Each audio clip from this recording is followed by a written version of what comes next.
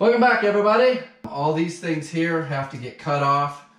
I'm just gonna try to fold them in, create a crack, and then use this bit here, that blade, that's a carbide blade or a bimetal blade, to buzz through this lath. Woo! Oh yeah!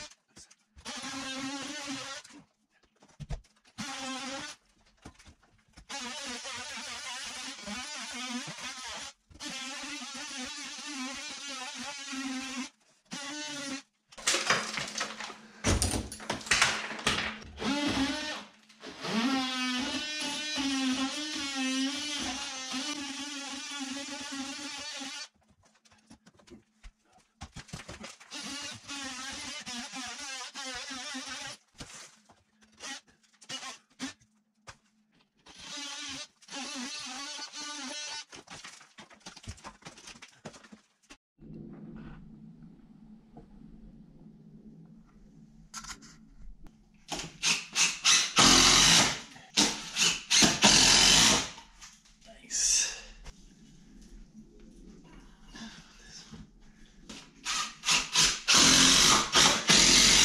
So just about every video, I have someone ask me what this tool is. Say, Is that a drill? I got myself a drill, but it doesn't make that noise. this is an impact driver. It's only meant for installing screws, small bolts, not for drilling. So I am going to be filling this hole. Ooh. I am going to be filling this hole with drywall. It is not crucial that it looks good or that it's level. It's going to be screwed to the back wall and go up to the ceiling. Um, 16 inches out from the wall is how far the cabinets come. So that's like right about here. So just this sliver here, I'm going to have to replace one, two boards. This one doesn't even need to be here. Over like that, that's all you're going to see. But I want to get it close. Um, but I'm not going to spend too much time trying to get this perfect. Uh, what I'm doing here is continuing the ceiling height across. And now I got to put up my blocking. And that blocking needs to be uh, a half inch above where this level is. When I screw the drywall up, it'll be flush with this surface, and then I can easily glue my furring strips on to support the tongue and groove wood.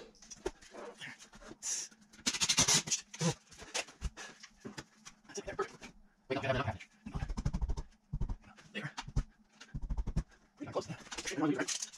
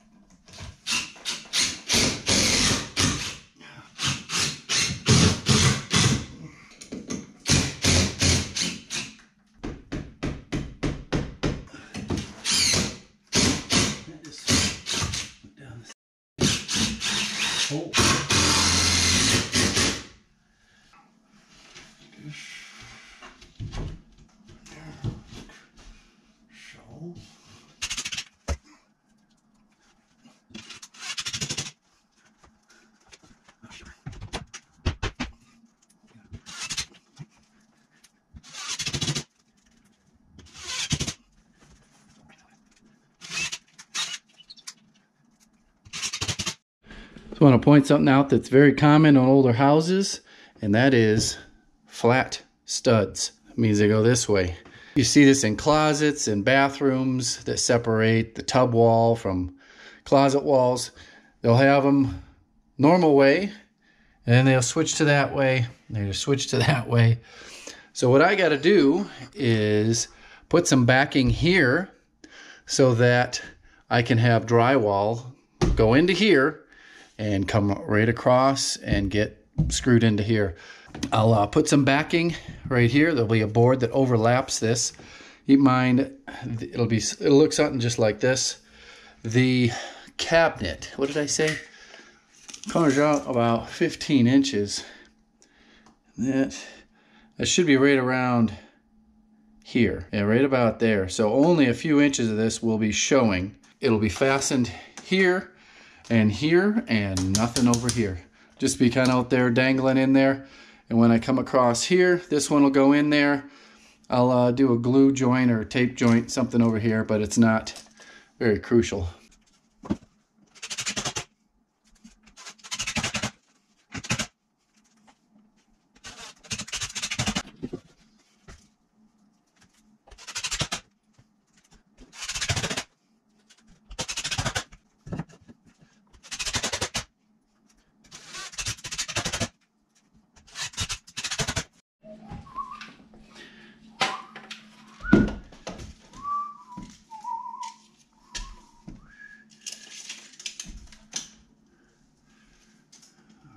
Two and a half. So we're gonna rip these down to two inches. Two inches. Just check up here. Two inches.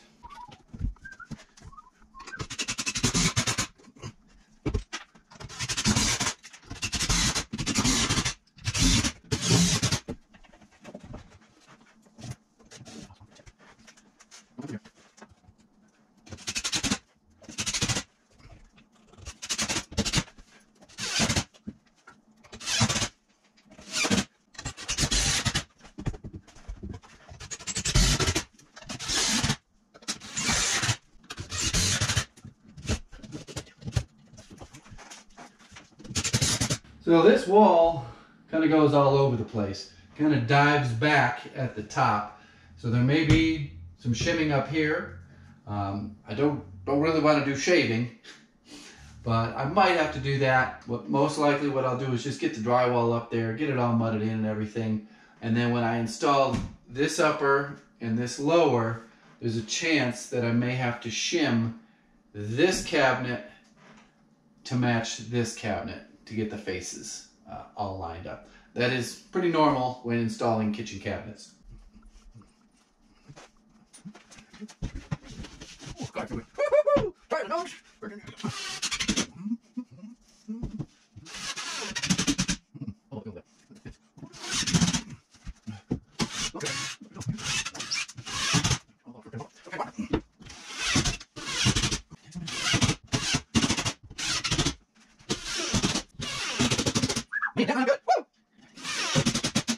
This lined up real nice.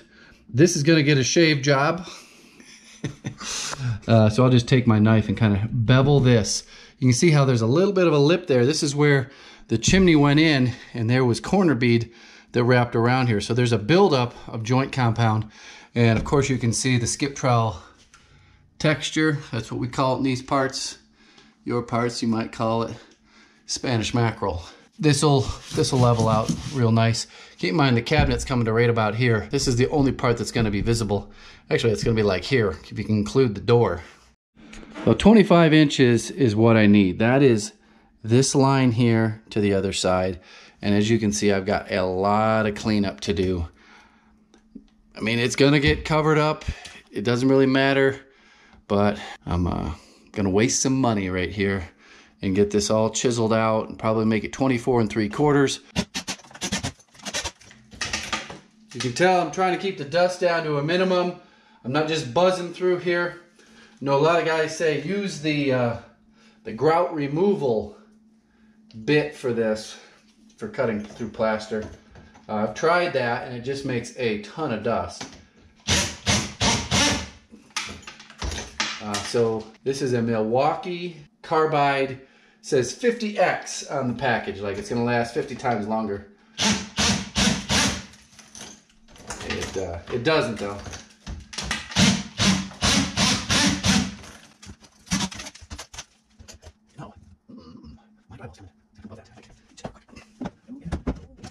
A lot of you guys probably saw that. As you can see there is OSB on top of the old plywood. This OSB is about 3 eighths of an inch So all this lath here, that's or whatever you want to call it, chicken wire, the drywall is going to go over the top of that and probably butt in right there. So I'm just going to clean this up with just a hair so I don't have a, a ridge there. I'm going to put my beveled edge of the drywall right here. Piece of cake. Answer solved. Thanks for your help. Okay, it's the first attempt at fitting. I always go for a real tight fit. Uh, so there's a good chance I got to take this back outside and rasp it to get it to fit in there. But we'll see. We'll see how it goes.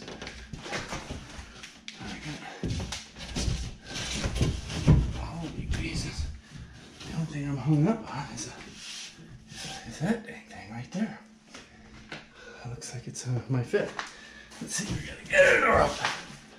So I got one of these boards just a hair long, but I think I can scooch it in. I better get ready to screw. Pop it out, tight to the ceiling, and flexy, flex it over. Oh yeah.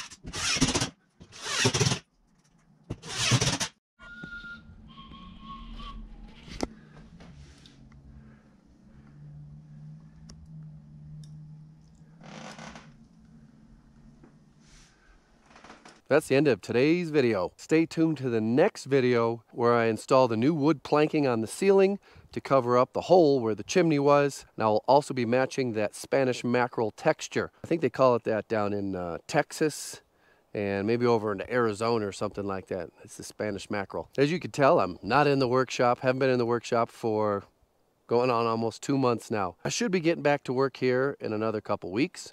Uh, but this, this is where I live. I live out of this. I'll give you a quick tour. The full tour will be over on the Super Secret Third YouTube channel. Here's the bed of the truck. Sleep over there. Got lots of storage underneath here. Clothes, food, all sorts of stuff. I got my big cooler, diesel heater, diesel for the diesel heater. This is my office. It's where I'll be editing videos in the middle of the day. And uh, yeah, is about it. Living the dream underneath a pine tree.